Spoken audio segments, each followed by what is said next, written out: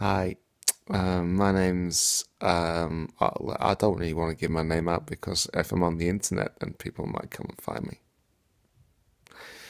Um, well, anyway, I, I'm, I'm here because uh, I want to be on the internet dating site. This is an internet dating site, and I'm here to find find somebody to to um to have a long and, and meaningful relationship with, probably settle down and have children, and and, and I'm just hoping to find the right person on the internet. So I'd like to tell you a bit about myself. Um, I'm I'm a potato.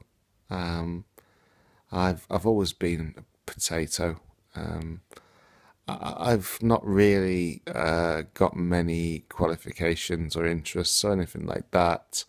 Um, previous experience in relationships been very limited.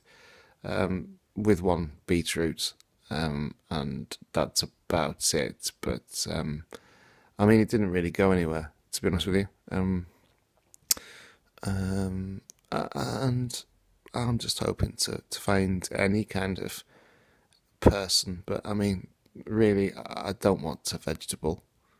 Um, I'm hoping for something other than a vegetable. Maybe a fruit or something like that, a sweet one. Yeah. mm